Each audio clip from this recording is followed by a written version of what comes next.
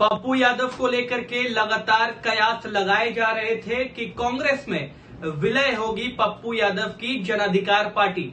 और अब एक खत सामने आया है, उस खत को हम आपको दिखाते हैं, जहाँ पर बिहार कांग्रेस के प्रदेश अध्यक्ष मदन मोहन झा ने एक चिट्ठी लिखी है, और ये चिट्ठी है पप्पू यादव के नाम।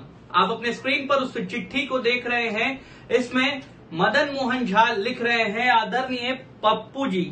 आपको ज्ञात होगा कि बिहार में दो विधानसभा क्षेत्र, कुशेश्वर स्थान और तारापुर में उपचुनाव 30 तारीख को होने जा रहा है।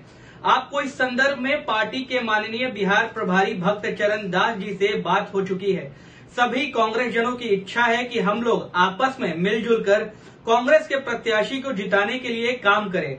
अतः आपसे आग्रह है कि उपरोक्त दोनों विधानसभा क्षेत्र में कांग्रेस पार्टी के प्रत्याशी अतिरेक कुमार और राजेश कुमार मिश्रा को विजय बनाने के लिए अपने दल का पूर्ण समर्थन एवं सहयोग देना चाहेंगे।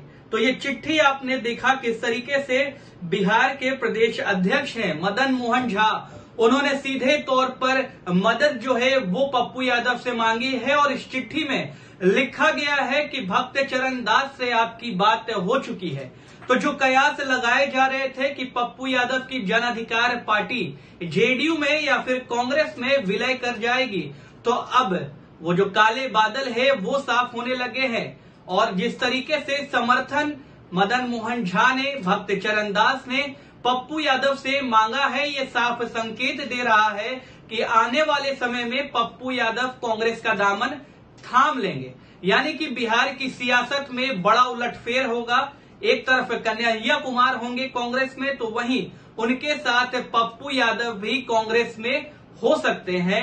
ये बात कही जा रही है। और ये लेटर जो है, ये लेटर भी साफ़ बता रहा है कि जो मदद मांगी है, मदन मोहन झा ने, ये साफ़ बताता है कि किस तरीके से पप्पू यादव अब मन बना चुके हैं कि वो कांग्रेस के साथ अपनी पार्टी का विलय कर देंगे। लंबे समय से ये चर्चा थी कि कांग्रेस में शामिल हो जाएँगे पप्पू यादव और अब इस लेटर के बाद से सब कुछ साफ़ हो गया है कि पप्पू यादव कांग्रेस में शामिल होंगे। आपको बता दें, कुशेश्वर स्थान और तारापुर में उपचुनाव चल रहे हैं और ऐसे में कांग्रेस के दोनों प्रत्याशियों के लिए पप्पू यादव से अपील की है। मदन मोहन झा ने कि वो अपनी पार्टी का समर्थन दे और उनके समर्थन में चुनाव प्रचार जो है वो करने के लिए कुशेश्वर स्थान और तारापुर जाएँ।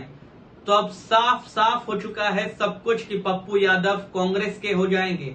और जो बात कही जा रही थी कि आने वाले समय में कांग्रेस और आरजेडी का गठबंधन जो है, वो भी पूरे तरीके से टूट जाएगा। तो ये लेटर जो है, वो साफ़ बयान करता है कि ऐसा भी हो सकता है कि उपचुनाव के बाद पप्पू यादव कांग्रेस में शामिल होंगे और उसके बाद से आरजेडी और कांग्रेस की राहें जो है, वो पूरे तरीके से अलग हो जाएँगी। हालाँकि अभी मदद मांगी है मदन मोहन झा ने। अब देखना यह होगा कि उपचुनाव के परिणाम के बाद से क्या पप्पू कांग्रेसी हो जाएँगे।